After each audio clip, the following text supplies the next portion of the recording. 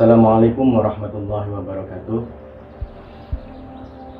Berjumpa lagi di hadis yang ke-11 Tapi sebelum kita membahas tentang isi dari hadis ke-11 dari kitab Arba'in Nawawi Mari kita bertawasul kepada Musonef kepada Nabi Muhammad, kepada guru dan orang tua kita. Al-Fatihah. Bismillahirrahmanirrahim.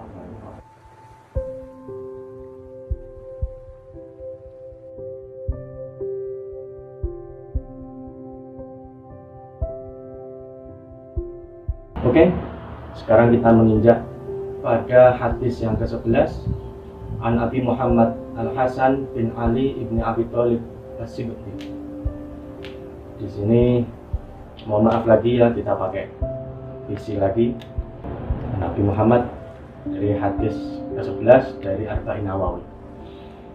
An Abi Muhammad Al Hasan ibni Ali bin Abi Thalib As-Sibti.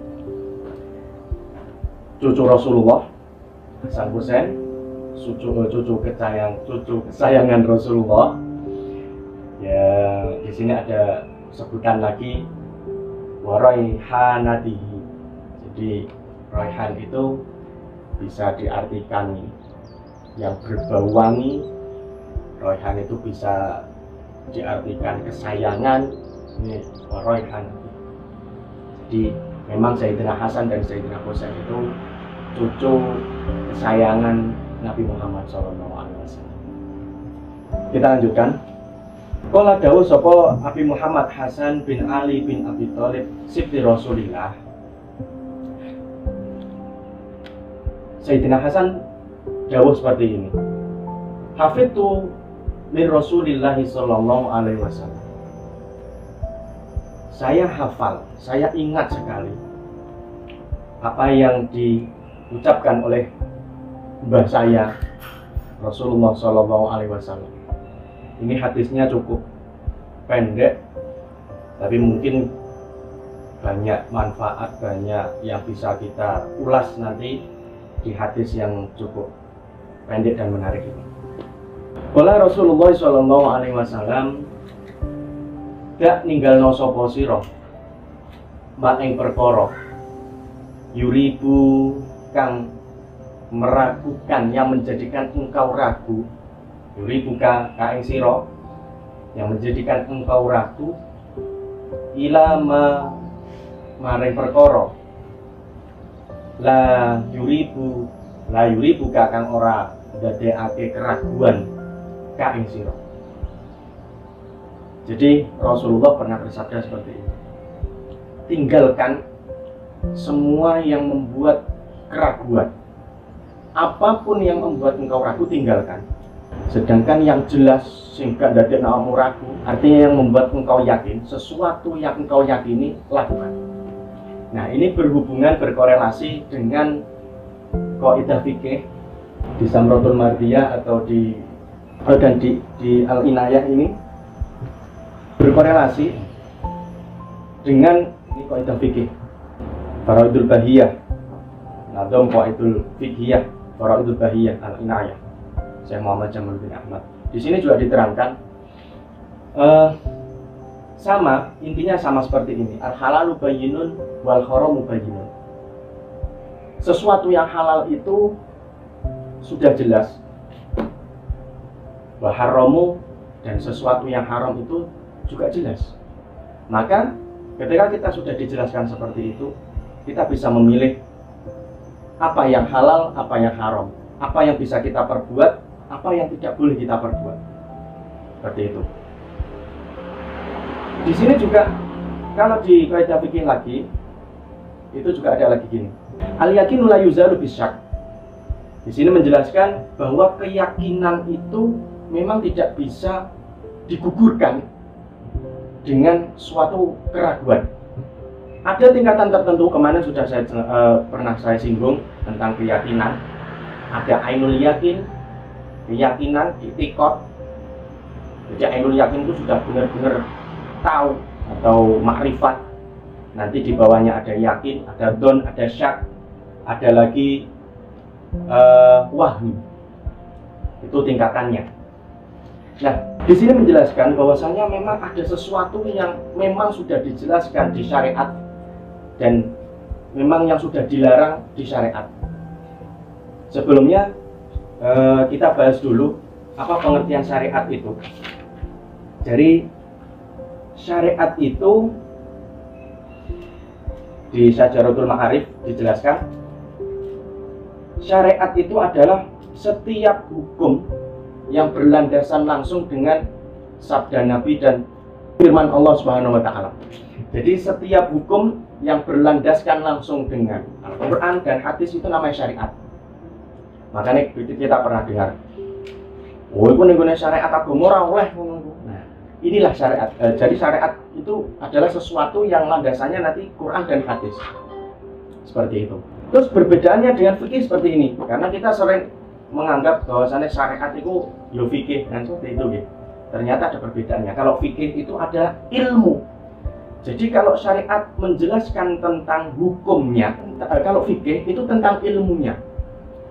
Sama gini, di syariat itu menjelaskan bahwasanya kita diwajibkan sholat seperti itu. Nah, ilmu untuk melakukan sholat, ilmu untuk melakukan atau ilmu untuk mengetahui bahwasanya syarat sah atau syarat wajib melakukan sholat itu seperti apa itu dibahas di fikih. Itu perbedaannya. Jadi makanya fikih itu ini juga di kitab itu Sugro di itu Sugro itu penjelasannya seperti ini. Fikih itu adalah al ilmu bil ahkam asyariyah al amaliyah al-muktasabu min adillatiha tafsiliyah. Jadi ilmu yang berlandaskan hukum syarak yang di situ menjelaskan tentang terperincinya atau cara-cara untuk melaksanakan hukum syarak tersebut. Seperti itu. Kita lanjut. Dak yuri ma eh, dak ma yuri buka ilama yuri buka. Kandungan yang kedua dari hadis di sini itu tentang suatu kehati-hatian kita terhadap memilih sesuatu yang haram atau yang halal. Nah, kalau kita uh, juluk ini itu wira. Kalau wirai ahli tasawuf itu pengertiannya adalah sangat berhati-hati dalam melakukan apa pun jadi ora doyan rontok patek doyan dunyo rontok ora patek doyan mangan seperti itu. Tapi ini di kok itu sugro bisa kita lihat. Ya. ini dijelaskan. Al-warok di sini dijelaskan juga di kitab Syajaratul Ma'arif wal Ahwal Sahifah 425 bi annahu hasmun wahtiyatun li lima yutawah hamu minal masoli. Jadi wirai di sini Imam Izuddin. Ya. Di sini Imam Izuddin di Kuatu Sugro di Sajatul Ma'arif juga menjelaskan bahwasannya warok wirai itu adalah sikap berhati-hatinya kita untuk melakukan sesuatu yang berpotensi kemaslahatan. Jadi Watarku ma yutawahamu minal mafasid Yaitu meninggalkan sesuatu yang berpotensi kefasadan, kerusakan. Jadi kita meninggalkan sesuatu yang itu membuat kemadorotan, kerusakan. Itu juga dimaksud uh, di sini keterangan dari Imam Izuddin Jadi tidak hanya sekedar wirai tentang halal haram kalau di sini lebih kemaslahatan umat. Jadi kita bisa milih rek. Apa yang bisa menyebabkan kemaslahatan atau kebaikan? Apa yang bisa menyebabkan kemafsadahan kerusakan ini juga diterangkan seperti ini tentang kemaslahatan dan kemafsadahan. Uh, Faminal masolihi mana yata'allaku bihi mafsadah. Jadi sesuatu itu suatu kemaslahatan itu ada yang tidak berhubungan dengan kemafsadan atau kerusakan. Contohnya, wajiban, au manduban, au mubahan. Jadi sesuatu wajib. Jadi ilmu syarak atau sesuatu yang sudah diperintahkan oleh syarak seperti kewajiban, kesunahan, dan kemubahan itu di situ mengandung kemaslahatan. Kabeh mengandung kemaslahatan.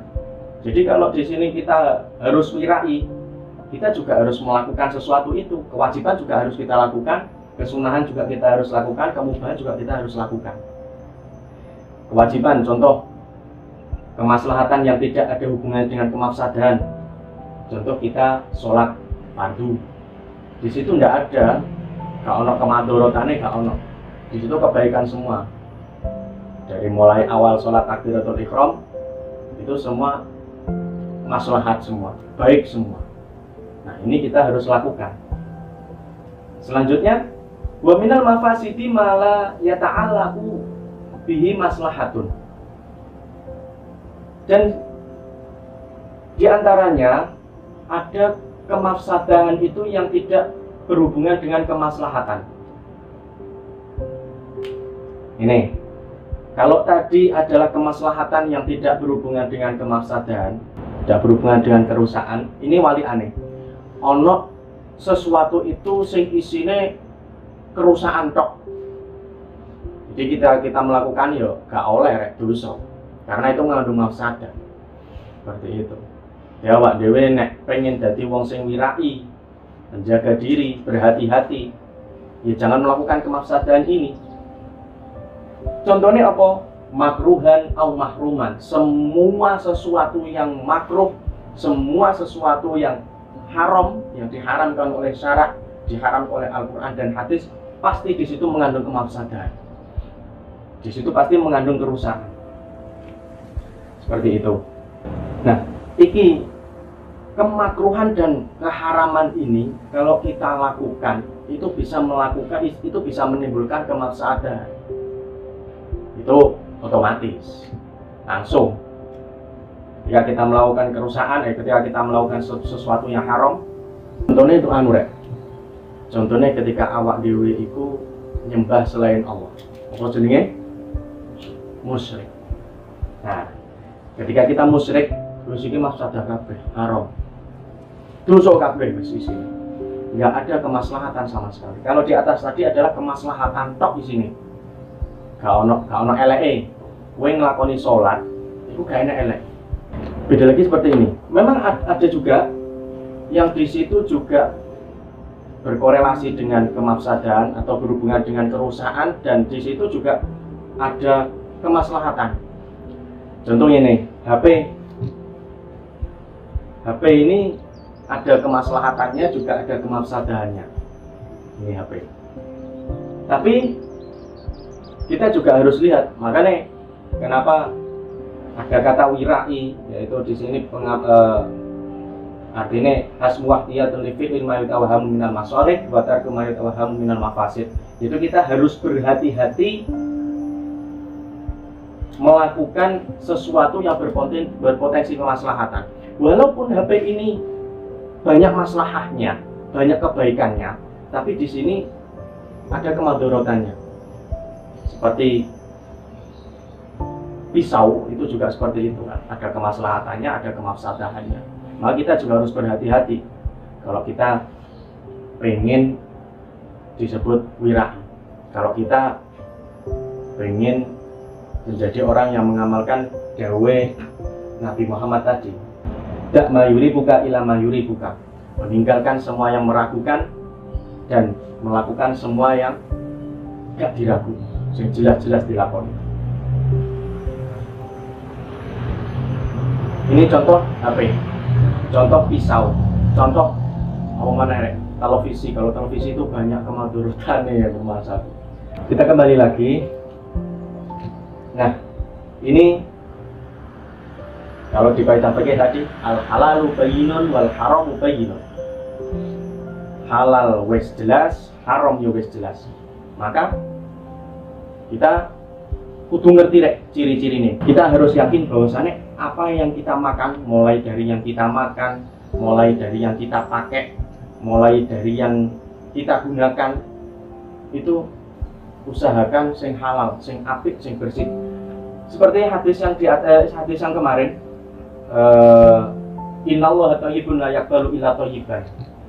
Allah itu bersih dan tidak menerima selain kebersihan. Allah itu bagus, orang nerima selain kebagusan. Perkara perkara sing elek gak trimo karo Gusti Allah. Nah, di sini juga kadang kita juga bingung untuk untuk menentukan sesuatu karena untuk menentukan sesuatu itu kita tidak bisa jelas secara detail apa-apa ya juga harus pokoknya itikatnya awak dewi pokoknya keyakinannya awak dewi itu sah ya sah. Karena pikir seperti itu kok rek. Kemarin juga pernah tak itu di kok itu sugro uh, seperti ini. Ini kok itu sugro tentang faslon Fima yubna alil masuni wal mafasid di halaman 41 di sini dijelaskan sebenarnya seseorang untuk melakukan sesuatu itu harus benar-benar yakin. Ada kalanya seseorang itu contohnya agama lah kita harus benar-benar yakin. Kalau di sini penjelasannya adalah Masalah wal mayubna alal irfan. Irfan. Jadi tingkatannya dua. Kalau di catatan kaki bisa dilihat ini uh, irfan. Nah ini. Irfan wa ma'rifatullah wa sifatuhu.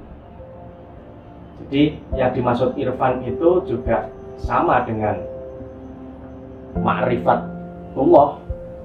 Mengerti Allah bisa melihat Allah secara langsung dan mengetahui sifatnya Allah. Itu yang dimaksud irfan.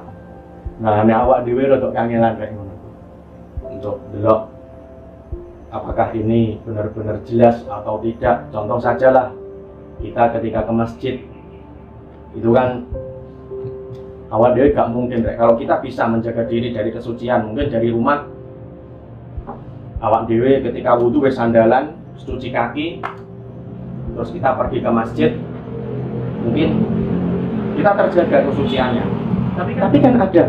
Banyak juga sih itu masjid yang di depannya tidak ada kolam kakinya itu itu kan juga mengkhawatirkan. Nah bagaimana ini solusinya seperti itu? Padahal awak dewe nek sinau ning gone Fatul Qorib itu awak dewe harus benar-benar detail awak dewe harus benar-benar hati-hati. Tapi ya apa awak dewe ketika ke masjid jumatan lah taruh banyak kan orang-orang dari luar orang sing toko pasar orang sing toko pasar sapi langsung munggah seperti itu tanpa dia cuci kaki dulu. Lalu bagaimana? Nah di sini dijelaskan wa minha mayubna alal itiqati fi hakil awam. Tapi sebagian besar orang awam itu ketika berkeyakinan itu tidak harus di level irfan. Tapi dia hanya di level itikot yakin. Awak dewe kiro kiro iki. Awak dewe pokoknya wes yakin ah iki pokoknya suci. Pokoknya iki masjid iki suci lah mau ora ono teleke. Gue bedone nek wis ono seperti itu.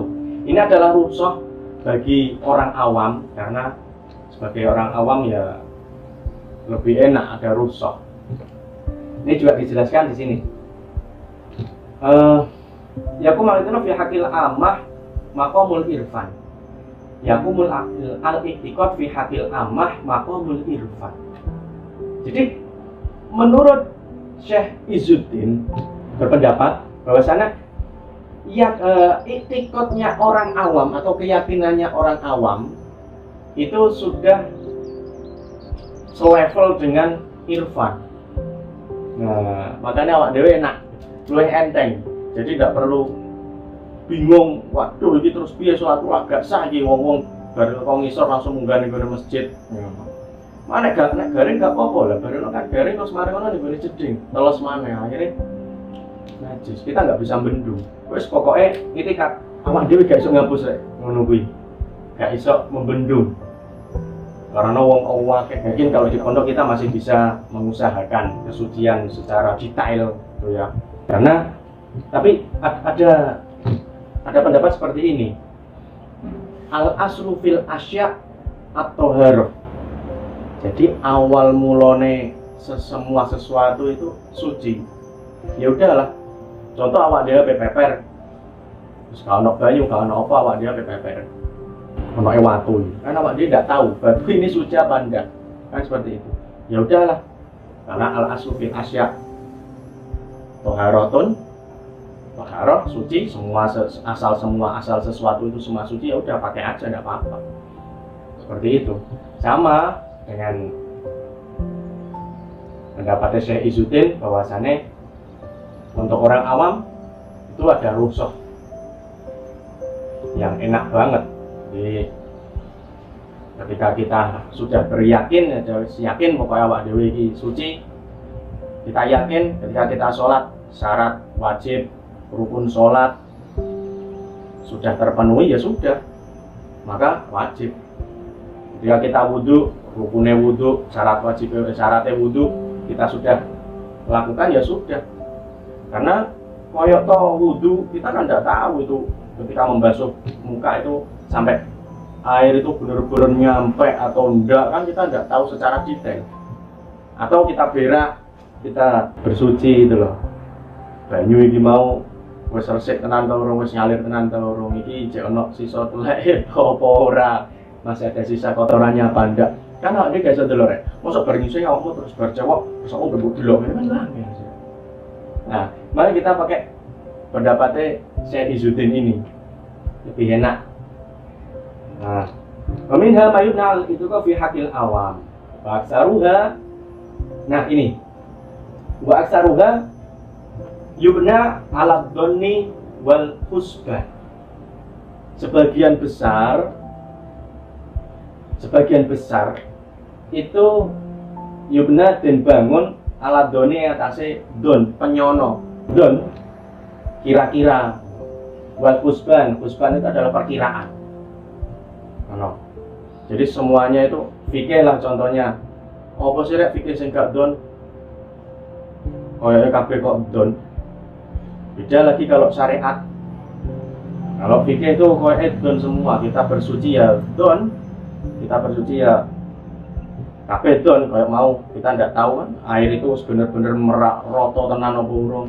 Ketika kita mandi wajib contohnya apakah air itu mau benar-benar ngemplek terus meresap benar apa enggak kan kita enggak, enggak sampai seperti itu. Sementing syarat rukun sudah. Kita yakin nah itu sah ya sah. Wasaruhum yubna ala doni wal kusban jadi kebanyakan malah.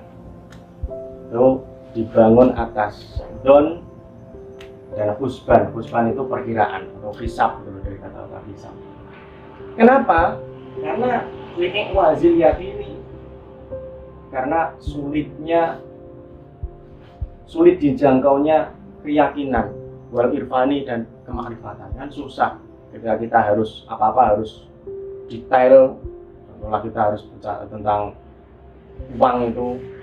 Awal ketika awak dewi kirai awak dewi butuh hati-hati masalah duit kan uang ini biasanya duit iki mau kok dari pembelanjaan yang nggak benar biasanya panas. Itu kalau orang-orang yang makrifat kan seperti itu.